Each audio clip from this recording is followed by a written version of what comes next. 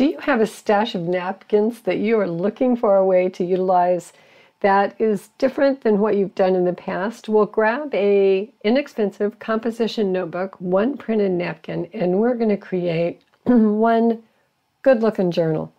This is what I created out of one napkin. My name is Peg. I call my channel Two Old Crows Mixed Media. I enjoy putting together journals, so I focus a lot on journals on my channel, but I also do other things. I have gotten into encaustic wax and I'm exploring that medium as well as a bunch of other things from altered playing cards to masterboards to ATCs, etc. over on my channel. So stop by if you like my content, give me that thumbs up, subscribe, and the notification bell lets you know when I upload additional content. To get started with this project, taking one napkin, and this is a three ply napkin. So I'm pulling apart the plies, and we are going to utilize two of these plies. So we're going to start with the plain white. I've pulled out a stamp that is a block script stamp, and I'm just going to randomly put this across the entire napkin. As you can see, I'm not really paying too much attention to where I'm stamping down, and I've utilized black StazOn ink. I have a couple of other stamps that I am going to utilize as well on this, and once again, just random placement. Once I am complete in my stamping, I'm going to move on to the composition notebook and that cover.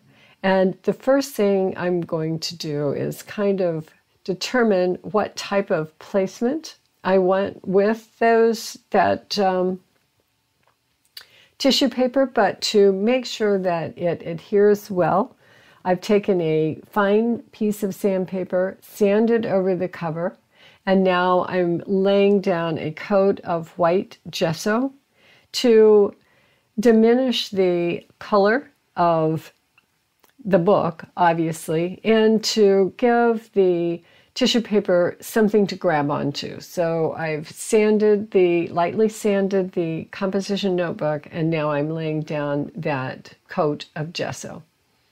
And I wound up laying down a couple of, of coats. Now to determine, I, I don't want to just put this all over, so I have taken my paintbrush and just drawn a line across that tissue with some water and that allows it to tear easily where I want to or the pieces that I want to utilize of that. So now that I have those in place, I will glue them down with my glue and water mixture. And this creates the foundation or the base. I'm going to do this front and back. So we have that complete. I want to water down some gesso and just kind of move it a little bit to the background. So I have put a dab of gesso on the side, sprayed some water on it, and now I'm going back over just randomly on the front and back, and I'll allow that to dry.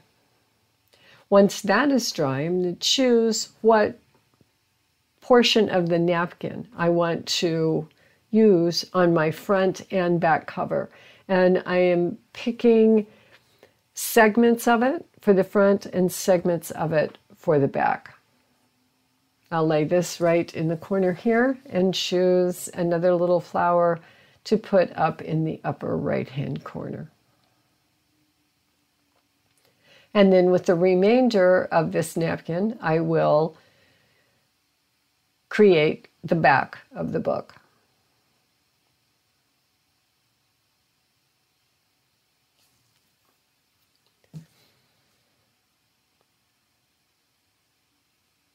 So there we go. And I think that will look nice. So let's glue that down.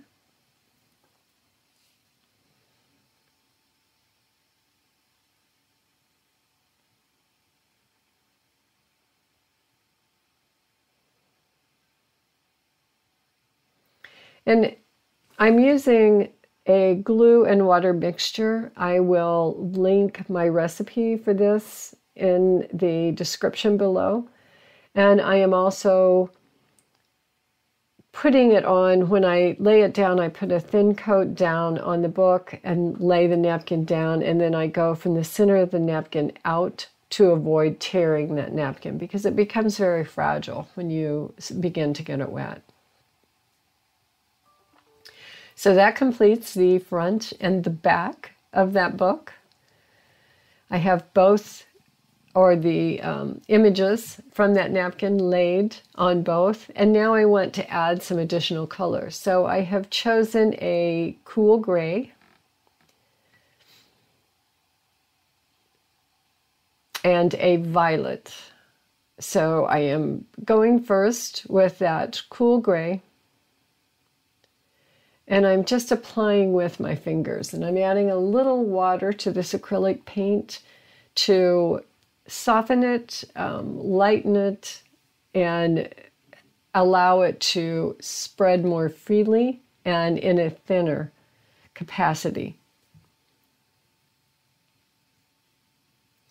I'm just going around the images and just kind of taking it by feel as to what I think looks good, what might be too much, what might not be enough. And I do want some of that uh, script stamping to kind of peek through, but it doesn't need to be a dominant part of my um, composition.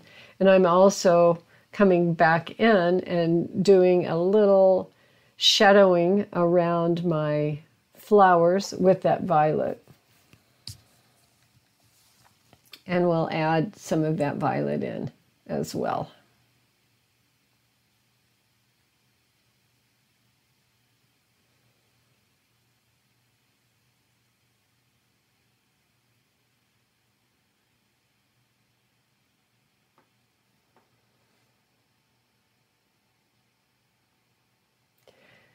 And now that I am starting on really kind of shadowing around that flower, I have picked up a small paintbrush to just kind of dab around the outside edges and outline these flowers in that violet color. I think it adds a little um, dimension to the flowers, a little depth.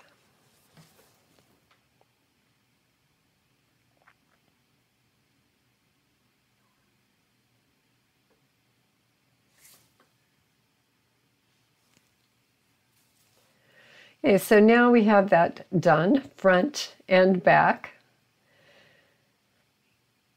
Or I guess what I wanted to say is we'll get that done on the back as well. And I have mixed up some texture paste, and once again, it's in those recipes below. And I've just added that cool gray to my texture paste, and I'm adding that texture paste onto the front cover and I will do the same on the back. And I'm just pulling that texture paste through a stencil with one of my hotel key cards.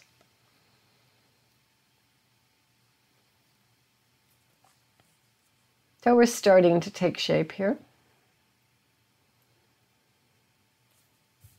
And that texture paste recipe is very, very easy. I make it with um, baby powder, glue, and acrylic paint. And instead of using a white acrylic paint, I used that cool gray and I made it in a very small um, amount. Now that I have everything dry, I'm going back in with a graphite pencil and just shadowing and um, adding in some, you know, shadow with the charcoal, putting it on, smudging it with a wet finger.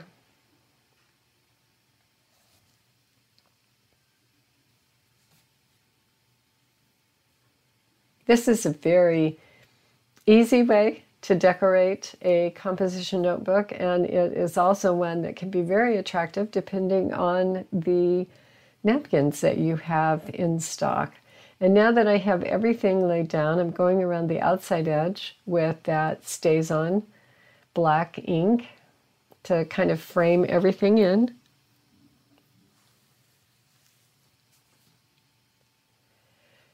And nothing is ever truly complete without a little bit of liquid pearls. So I want to define the wing of that dragonfly with this light um, liquid pearl. I think this is a, it's not a champagne, but it's a real pale yellow color liquid pearl. And I'm also going to take that inside these flowers as well. So I'm just doctoring, doctoring it up, adding a little bit of dimension with these liquid pearls where I think they'll look good. That's up to you how much or how little you want to utilize. But I am putting on quite a bit, just detailing and outlining and, and highlighting some of the areas of these flowers and the dragonfly. I have the front completed. Now I'm going to flip it over and do the back of the book in the same way. But after I have finished both the front and the back, it's time to think about what type of closure I want for this booklet, for this composition book. And I've decided to use this lace that I have in stock. It's just a black, um, I don't know what, what you would call this, but it's a very um, thin, transparent, lacy I, I don't know what they call it, but I'm just going to tape it down and I'm pulling out the front and the back page because I had gotten some ink on it and I wanted to make sure that that was was clean the front page that of the book was clean. So I'm going to tape this ribbon in the front and the back and I'm just using a masking tape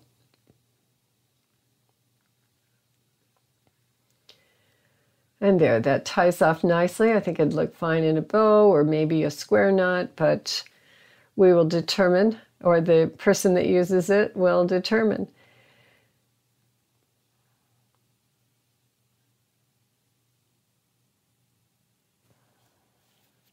So we have that complete. And now we have to do something with the end sheets for the inside front cover and the inside back cover. So I went to use the same colors. I'm starting with the cool gray and that stencil that I used to pull the texture paste through. So I'm laying that down as my base layer. I'm going to let that dry just a little bit. And then I will lay down my second color, which is going to be that violet.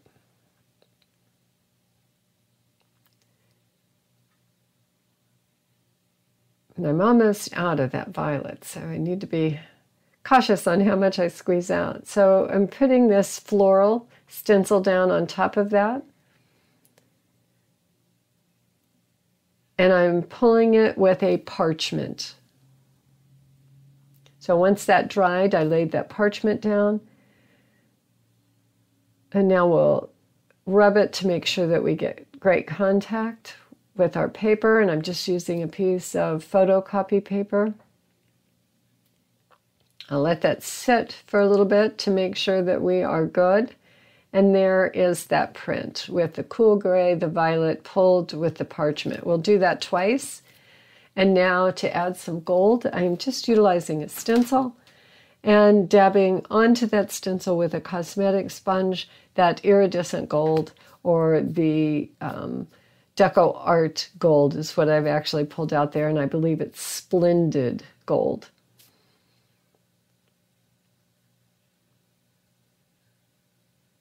And that's all I am going to do with that. And now I have it cut to size for my inside front.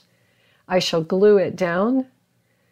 And that is all I'm going to do for the inside of this particular composition book. Now, I may go back at a later time and add a pocket or add something else on the inside cover, but for right now, I am just making sure that those in sheets are in and glued down so that there's nothing that will peel up. There's your inside front. There is the inside back the back cover. That turned out to be mostly butterflies on the back cover. We can tie that off in a nice little bow or a square knot and hang out those two ties or the bow. And I think I am going to display it with the bow. And that completes this project, which is, I believe, number nine in the composition, altered composition notebook challenge that I did to myself. I think I have a dozen of these, if not more, that I will continue to decorate and continue to try to put new ideas out there for how to utilize and how to decorate these composition notebooks. So I hope that you are following along. The playlist will be at the end in my end screen and let me know in your comments if you like this one or if there was another one that you saw that you liked much better. So thank you very much for being here. Once again, give me that thumbs up. And of course, this is subscribe to my channel.